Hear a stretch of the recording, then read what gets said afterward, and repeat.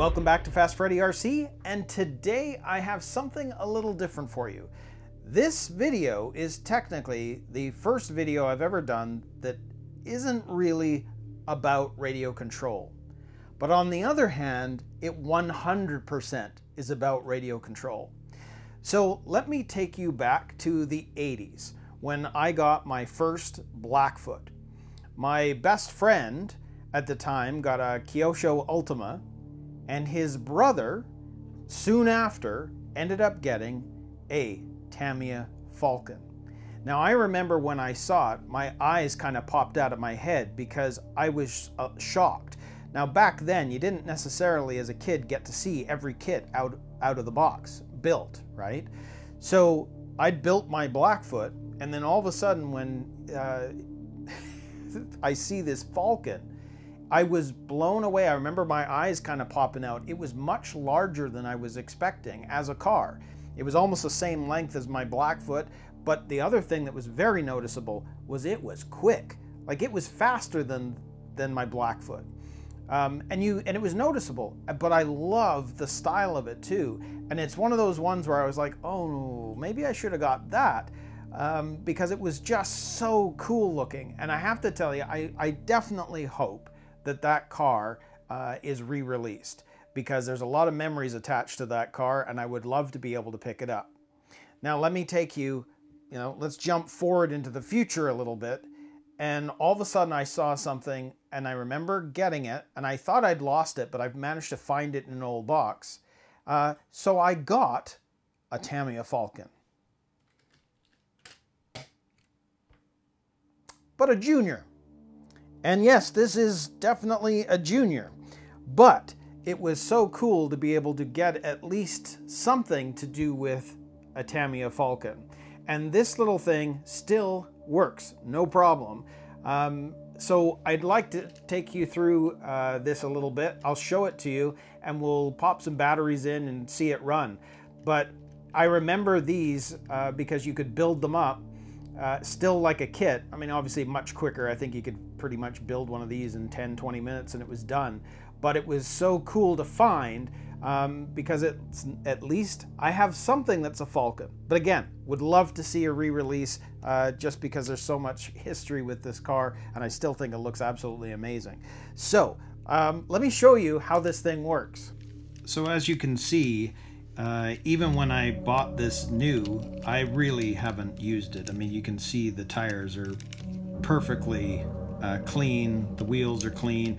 I, you know, it, it's showing its age because you can see that the stickers are starting to peel away. Um, and I don't know, I, I don't know how much I want to touch this, um, but you can see Frantic Freddy, um, the driver name, uh, but this was all painted. I don't believe I had to do anything with this. It was already done. But here's the thing. You see this back panel um, where the exhausts are, that's actually the turning point to be able to detach the top from the bottom.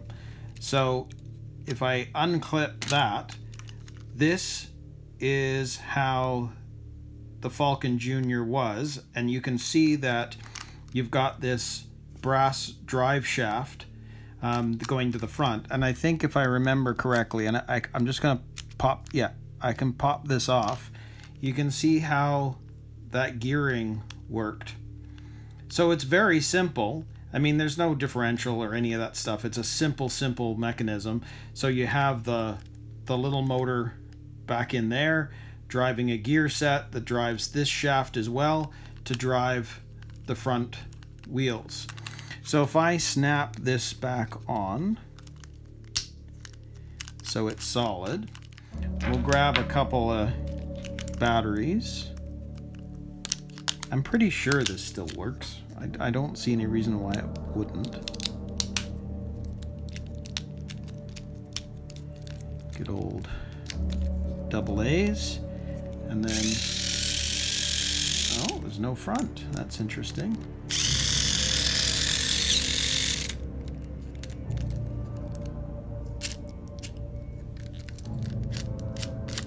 Well, maybe it doesn't totally work. It was working a minute ago.